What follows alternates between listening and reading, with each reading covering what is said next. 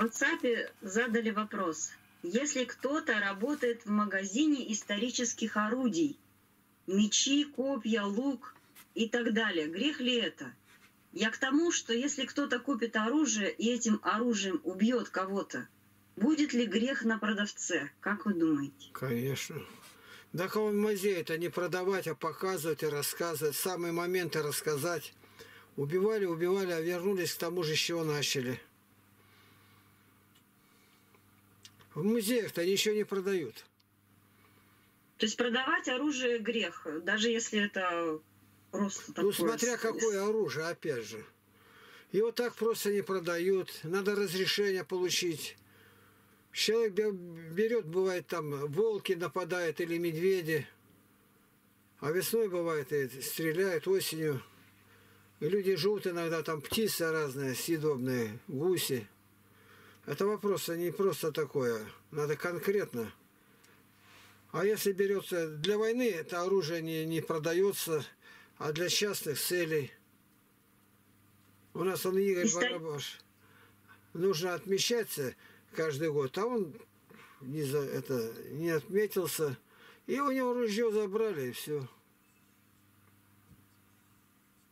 Историческое оружие, Игнат Тихонович. Копья, луки. Его вот никто не продает. Оно лежит смотреть, чтобы. К нему прикасаться нельзя. Не, ну есть, для коллекции там продают или для чего-то, непонятно. Ну вот это для чего-то мы и не знаем. То есть лучше его не продавать, да, чтобы не, не согрешить? Да а нам-то зачем туда лезть? Нет, ну оружие это если продается для каких-то целей, ну для своих. Допустим, на зверя идут, они на севере он работает, эскимосы. Я не могу сказать так. Надо конкретно знать, где какая область, что за оружие, может ли оно применяться против людей. А стрелы какие там прочие, да это уже все в прошлом. То есть однозначного ответа нет, не грех или грех. Ну а как я могу ответить?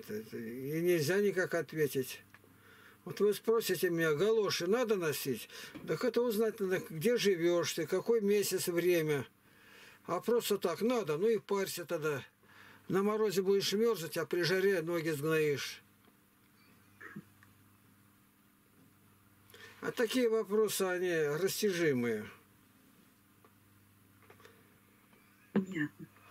А вот э, с пиратскими вот этими программами...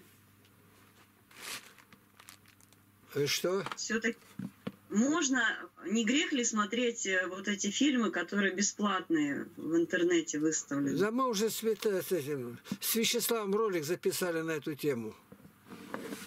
Которые платно, они их не возьмешь даже, они закрытые. Ну, комната на большой замок закрыта. А если двери оторваны, никого нету, и кто будет спрашивать? Они для того и выставлены, чтобы смотреть. То есть нет в этом греха? На какой грех? Оно специально стоит, они отмечают, сколько человек посмотрит, какой рейтинг у этого произведения. Сажать нет, за это не будет, раз оно открытое. Спаси Христос. Слава Христу. Мир вам, Игнатий Тихонович. Что так... можем. такое? Ну давай, что там у тебя? Э, э, Игнатий Тихонович, скажите, пожалуйста, является ли грехом человеку работать в вооруженной охране, охранять э, склады с боеприпасами? Ну, что охранять? Так охраняй. Ну, не стрелять, не стреляй. Я охранял, ружье было. Я сколько там лет 10 работал, я его и в руки не брал. У меня две собаки с собой было. И один залез там какой-то, я его тоже с собаками. Я сдал в милицию.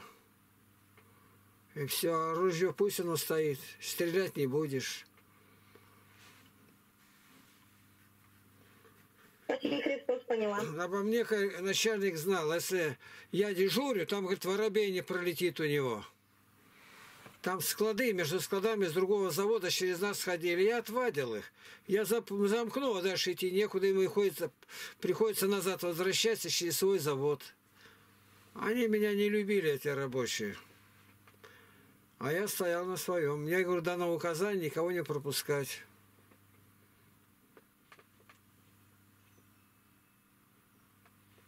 Спаси Христос. Слава Христу. Ну все, никого нету, отхожу.